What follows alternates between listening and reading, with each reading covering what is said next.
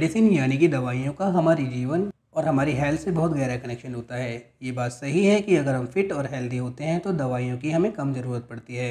लेकिन फिर भी कभी न कभी हम सभी को दवा तो लेनी ही पड़ती है।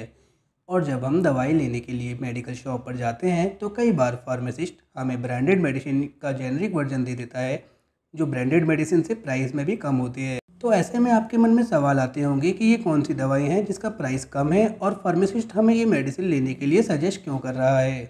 क्या ये दवाई लो क्वालिटी तो नहीं?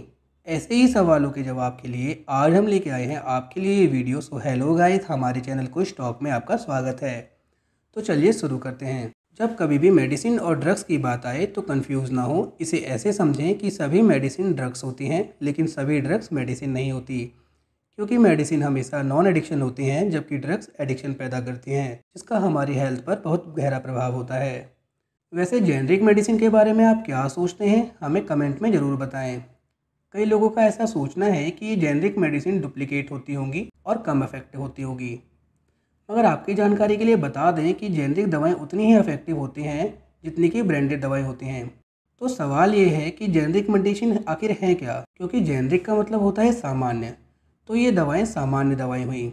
लेकिन सामान्य का मतलब इसकी क्वालिटी का कम होना नहीं है, बल्कि जेनरिक मेडिसिन एक मेडिसिन है जो ब्रांडेड मेडिसिन की तरह doses safety strength uses quality में सेम होती है, जो मार्केट में अपनी पहचान रखती है। यानी जेनरिक मेडिसिन ब्रांडेड मेडिसिन की तरह ही सेम बेनिफिट प्रोवाइड करती है। तो सवाल ये है कि जेनरिक मेडिसिन ब्रांडेड मेडिसिन की तरह काम कैसे करती है? तो जवाब ये है कि जेनरिक मेडिसिन में भी ब्रांडेड मेडिसिन की तरह ही सेम सॉल्ट और सेम कंपोजिशन यूज़ की जाती है।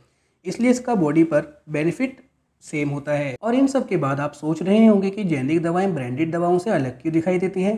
तो इसका सीधा जवाब ये है कि जेनरिक मेडिसिन ट्रेडमार्क लॉ के मुताबिक बिल्कुल वैसी नहीं दिख सकती जैसी ब्रांडेड मेडिसिन ऑलरेडी मार्केट में होती है।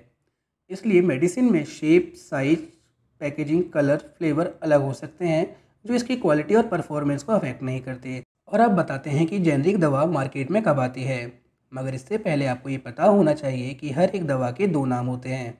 एक जो उसे फार्मास्यूटिकल कंपनी द्वारा दिया जाता है और एक जो जेनरिक नेम होता है जो उस दवा की कंपोजिशन होती है, जिस दवा से, जिससे वो बनाई जाती है। तो जब भी कोई फार्मा कंपनी एक नई कंपोजिशन वाली दवा मार्केट में लेकर आती है तो उस दवा पर वो पेटेंट ले लेती है। जिससे उस कंपनी को यह अधिकार मिल जाता है कि कोई और दूसरी कंपनी उस सिमिलर कंपोजिशन वाली दवा को मार्केट में नहीं ला सकती। और ये पेटेंट उस कंपनी को इसलिए मिलता है जिससे उस दवा को बनाने के लिए क्लिनिकल ट्रायल और रिसर्च पर उस कंपनी का जितना टाइम और पैसा लगा है जब तक वो निकल नहीं जाता। और जब उस कंपनी का पेटेंट एक्सपायर हो जाता है, तब बाकी सभी फार्मा कंपनी को परमिशन मिल जाती है कि वो उस उसी कंपोजिशन पर बेस दूसरी दवा दूसरे नाम से मार्केट में निकाल देती हैं, जिन्हें हम जेनरिक मेडिसिन कहते हैं। तो अभी तो आप समझ ही गए होंगे कि जेनरिक मेडिसिन क्या होती हैं। इसी के साथ एक कॉमन सवाल आता है कि जेनरिक दवाएँ ब्रांडेड दवाओं से इतनी सस्ती क्यों होती हैं? तो इसके लिए आपको बता दें, जब एक बार ब्रांडेड दवाओं को लॉन्च किया जाता है, उससे पहले उन ब्रांडेड दवाओं का clinical research advantage, disadvantage doses और उसके इफेक्टिवनेस को ट्रायल के रूप में मेज़र कर लिया जाता है, जिसके बाद जेनरिक दवाओं को ये सारा प्रोसेस करने की ज़रूरत नहीं पड़ती।